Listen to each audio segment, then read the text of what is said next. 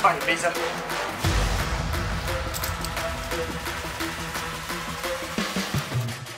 I'm Private Mark Hurt. I'm a 31 kilo for the United States Army. I'm a dog handler. I'm Specialist Oxendine, and this is MWD Gatso. I'm Matthew Skaliski. I'm a private first class in the United States Army. I'm a military working dog handler. This is my dog, Visa.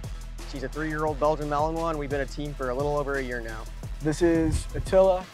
This is probably the coolest job out there. There's nothing really better than it. A lot of patience goes into training dogs and working with them, but it's cool because we get to play with this guy all day long and uh, watch them work. You build a bond pretty fast just because it's just you and your dog doing literally everything together. So we're training five to six days a week, coming in on off days just to train with them. With our military working dogs, they're all trained to bite. Uh, on or off leash with or without command. So if I have the decoy come up, he's gonna show me his, uh, the wrap hand, which is more or less his ID in a real world scenario. Then on the second iteration, the guy's gonna come up, he's not gonna comply, and then we're gonna release the dog for a bite.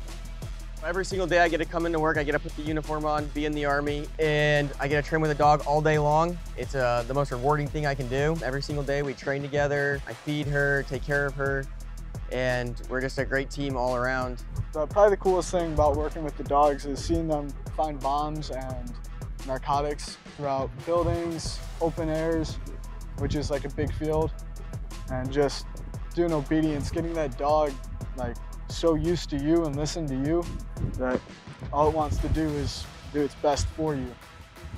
I highly enjoy running uh, like Secret Service missions and stuff like that.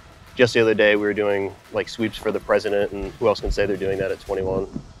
If you're thinking of joining the Army, you're gonna get opportunities that you've never had before, getting to travel. I've gotten chances to work with the president. You could have those opportunities as well with the Army, and just getting to see the world. Don't hesitate with anything. If you wanna do something, you got one life, man. Like, just do it.